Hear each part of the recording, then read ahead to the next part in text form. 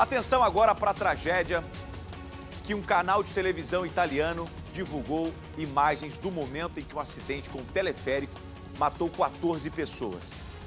Veja só, as imagens mostram a cabine chegando à estação e em seguida despencando em alta velocidade na direção contrária.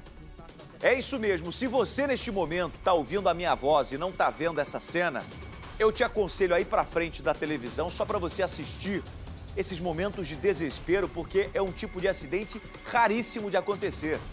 Aliás, é a primeira vez na minha trajetória como jornalista que eu mostro um acidente filmado como esse, ó. Segundo as autoridades italianas, a queda foi de 20 metros. O único sobrevivente do acidente, atenção, foi um menino israelense de 5 anos.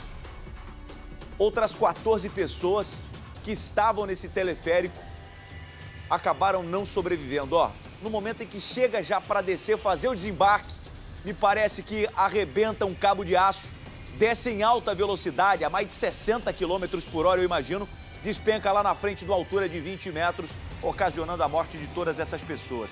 Três funcionários da empresa responsável pela administração do teleférico foram presos. Certamente agora a apuração deve mostrar falha na manutenção do equipamento, às vezes uso de, de material mais barato e talvez até o excesso de peso que podem ter ocasionado essa queda. A pessoa vai né, para fazer um turismo, pra, junto com a família, para tirar foto, para visitar no momento de descanso, de lazer, acaba falecendo numa tragédia, muitas das vezes em função da irresponsabilidade e imprudência de gananciosos que sempre só pensam no dinheiro.